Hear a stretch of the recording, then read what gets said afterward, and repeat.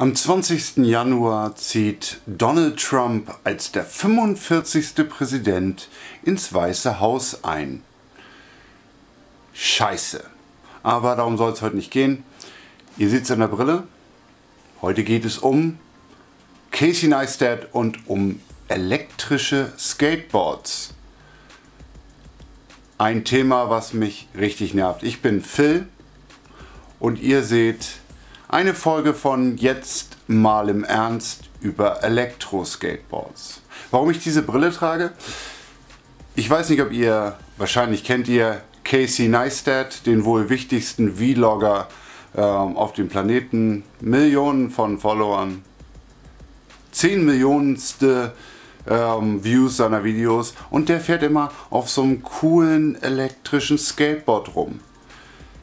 Wie der das überlebt, keine Ahnung. Also ganz ehrlich, in London hat er das auch gemacht und in, in, äh, in New York. Auf jeden Fall fährt er mitten durch den, durch den Verkehr, das Ding ist super schnell und alle möglichen anderen Vlogger fangen in den USA zumindest damit jetzt auch an, weil es super cool ist halt mit so einem geilen Skateboard, weißt du, das ist so ein bisschen hip.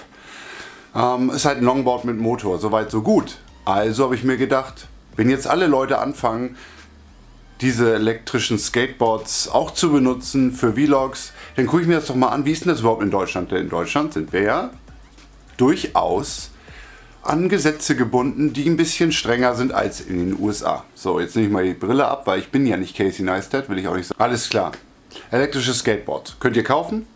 Ähm, relativ viel sogar. Ähm, Boosted Boards, äh, die amerikanische Firma von denen Casey Neistat das ähm, elektrische Skateboard benutzt. Gibt es noch nicht in Deutschland, aber ihr könnt es vorbestellen für, ich glaube, 999 Dollar. Und dann habe ich angefangen, das Ganze mal zu recherchieren. Deutschland, kauft euch keine elektrischen Skateboards, beziehungsweise kauft euch keine, die über 6 Stundenkilometer fahren. Die sind nämlich nicht erlaubt, weil sie für den Straßenverkehr zulassungspflichtig sind. Jetzt können Sie natürlich sagen, ist mir auch egal. Ich fahre damit und wenn die Polizei kommt, dann nehmen sie es mir ab. Ist auch schon passiert. Jemand fährt auf einem elektrischen Skateboard, die Polizei catcht ihn. Das Ding war selbst gebaut, ist ein ganz interessanter Fall gewesen. Sie haben es eingezogen und haben ihn laufen lassen. Er hat nicht mal eine Verwarnung bekommen. Alles war alles cool oder nicht?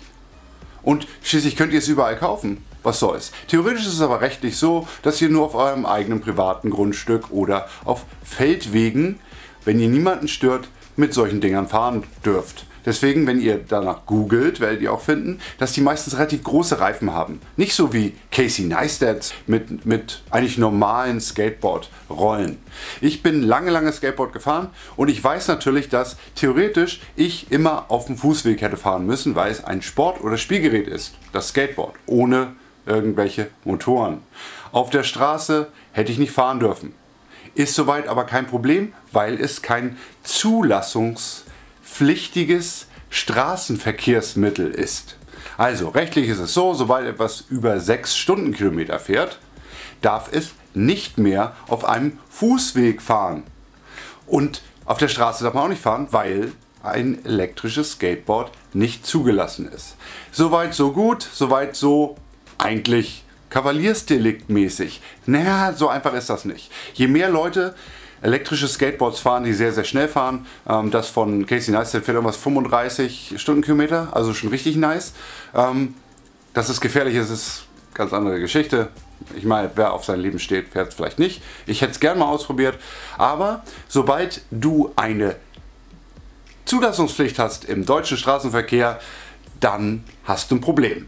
Denn wenn jetzt immer mehr Leute elektrische Skateboards fahren und denken, na gut, wenn die Polizei das einzieht, ist halt so. Außer dass die Dinger sauteuer sind. Wer die Kohle hat und sagt, gut, wenn die Polizei mein 1000 Euro elektrisches Skateboard wegnimmt, interessiert mich nicht. Gut, alles klar, gut für euch. Aber wenn ihr erwischt werdet damit, habt ihr ein ganz großes Problem. Das ist nicht nur eine einfache kleine Kavaliersdelikt oder eine kleine Ordnungswidrigkeit. Nicht nur kann das extrem hohe Strafen nach sich ziehen, sondern es ist so, dass ihr euren Führerschein verlieren könnt, weil es so ist, rein gesetzlich, als ob ihr ein Auto ohne Zulassung fahrt. Ich weiß, es ist total absurd, weil ich meine, hey, das ist ein Skateboard. mit einem kleinen Motor dran. Und das ist ja kein Porsche, den ihr einfach mal nicht angemeldet habt, weil ihr keinen Bock habt auf Versicherung und so weiter. Weiterhin ist es so, wenn ihr ähm, damit fahrt und ihr baut einen kleinen Unfall, was leicht passieren kann, weil die Dinger sehr, sehr schnell sind, kein Versicherungsschutz. So, fassen wir mal zusammen. Erstens kostet das richtig viel Kohle, wenn ihr damit erwischt werdet. Zweitens könnt ihr euren Führerschein verlieren, beziehungsweise euren Anspruch auf eine Fahrerlaubnis für die Zukunft, falls ihr noch keinen habt. Und drittens, versicherungsmäßig seid ihr nicht abgedeckt. Ist ähnlich wie bei Drohnen. Das ist ein anderes Thema für eine andere Sendung von Jetzt mal im Ernst. Jetzt habe ich mir natürlich gedacht, wunderbar, alles klar. Ähm, die Hersteller werden das ja wohl so auch sehen und werden natürlich dann auf ihren Websites darauf hinweisen. Die Deutschen tun das auch. Es gab ein ähm, Berliner Startup von zwei Jungs, die haben, also beides Ingenieure, haben ein richtig geiles elektrisches Skateboard gebaut, haben gemerkt, hey, mit dem ganzen rechtlichen Kram funktioniert das nicht, also lassen wir es. Good choice. So, ihr könnt jetzt natürlich auf verschiedenen Websites und verschiedenen Foren verschiedene Arten von elektrischen Skateboards kaufen. Ich habe mir aber gedacht, hey, ich spreche mal mit der PR von Boosted Boards. Diesem super Hochleistungs elektrischen Skateboard, was Casey Neistat benutzt und viele andere Vlogger in den USA inzwischen auch. Dabei bin ich auf etwas gestoßen, was mich extremst böse macht, weil es ja so ist. Verkaufen darf man die Dinger ja. Ihr dürft sie bloß nicht benutzen. Ihr gebt schön 1000 Euro aus, kriegt das Ding, fahrt und ihr seid verantwortlich dafür, wenn ihr erwischt werdet. Die PR-Leute von Boosted Board haben mir geschrieben, klar, wir bringen das Boosted Board auch in Deutschland, Österreich etc. raus. Und da habe ich sie darauf hingewiesen, ähm, wie ist denn das rechtlich? Ihr wisst ja, Straßenzulassung und so weiter. Theoretisch müsste das Ding ein Kennzeichen haben und hätte Versicherungspflicht wie ein Auto. Dann die gesagt, ich muss da ein bisschen ruhig bleiben, ich muss das schon ein paar Mal aufnehmen, dass ihnen das relativ egal ist. Denn verkaufen dürfen sie es ja. Ist das nicht super? Das ist doch Kapitalismus in der reinsten Form. Hey, ist mir doch egal. Hauptsache, du gibst mir die Kohle. Ich finde das extremst scheiße. Und deswegen habe ich mal diesen kleinen Beitrag hier gemacht. Wenn ihr Bock habt auf ein elektrisches Skateboard, denkt lieber doppelt drüber nach. Es ist nicht so einfach. In Deutschland, auch in Österreich, ich weiß nicht, wie es in der Schweiz ist, aber Deutschland und Österreich habe ich recherchiert. Theoretisch müsste, es gibt auch eine Lobby für elektrische Skateboards, theoretisch müsste es dann irgendwann mal eine rechtliche Grundlage geben. Aber solange es diese nicht gibt, kommt ihr in Teufelsküche, wenn ihr damit auf der Straße fahrt.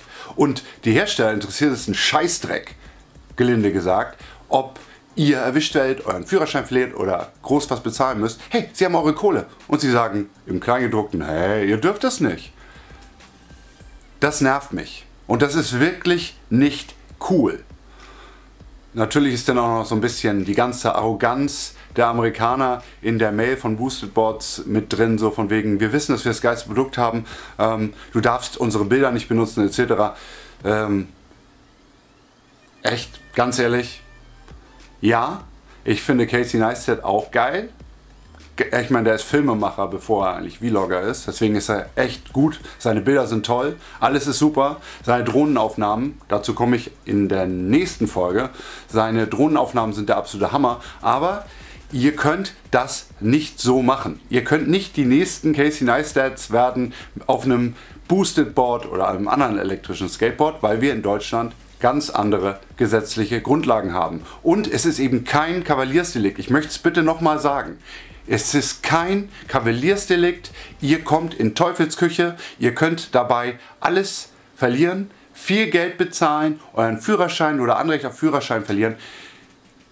Guckt euch, wenn ihr da drauf aus seid, so etwas zu kaufen, einige der Foren an.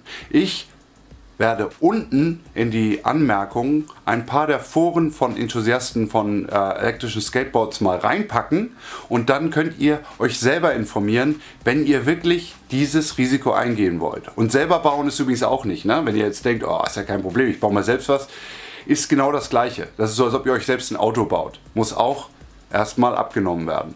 Dazu kommt natürlich nochmal, dass es durchaus elektrische Skateboards gibt, die unter 6 Stundenkilometer fahren. Die dürft ihr theoretisch fahren, aber nicht auf der Straße. Nicht auf der Straße, denn das ist dann ein Sport- und Spielgerät, ähnlich wie ein Skateboard. Beim Skateboard wird es nie jemanden interessieren. Ich rede ohne Motor. Beim Skateboard wird es niemals jemanden interessieren, wenn ihr auf der Straße fahrt, obwohl ihr es nicht dürft. Wenn ihr einen Unfall habt, ist es versicherungsmäßig ein bisschen schwieriger. Ich bin lange Skateboard gefahren, ist alles gut. Viele Leute machen das und das ist auch alles gut. Skaten ist geil, gar keine Frage. Aber ähm, schaut in die Foren rein. Ich werde auch noch mal einen Gesetzestext verlinken und ich muss euch wirklich ans Herz legen, informiert euch vorher, denn die Hersteller interessiert es einen Scheißdreck. Die Hersteller wollen ihren Kram verkaufen und da ist es ihnen auch egal. Sobald ihr das bezahlt habt, ist ihnen das egal, weil, ob ihr damit Probleme habt, auch rein gesetzlich. Das haben die auch so gesagt in der Mail, deswegen bin ich nicht mehr so ein großer Fan von Boosted Boards. So, wie ich schon gesagt habe, das nächste, jetzt mal im Ernst, wird sich um Drohnen und die rechtlichen Grundlagen, Versicherungsgrundlagen etc. in Deutschland drehen. Ich hoffe, das hier war informativ für euch und ihr, falls ihr euch für elektrische Skateboards interessiert, guckt einfach mal nach im, im Netz und auf den Links, die ich äh, unten poste. Wichtig ist noch dazu, dass ihr bitte, und das ist wirklich wichtig, einfach mal kommentiert. Wie seht ihr das? Dürfen die das? Die Hersteller geben es einfach raus, passt schon. Also kommentiert, liked und folgt diesem Channel, damit ihr immer darüber informiert seid, was als nächstes kommt. Ich freue mich auf euer Abo, ich freue mich über eure Likes, Dislikes meinetwegen auch, weil ihr das vielleicht ganz anders seht und über Kommentare. Vielen Dank. Ich wünsche euch eine tolle Restwoche.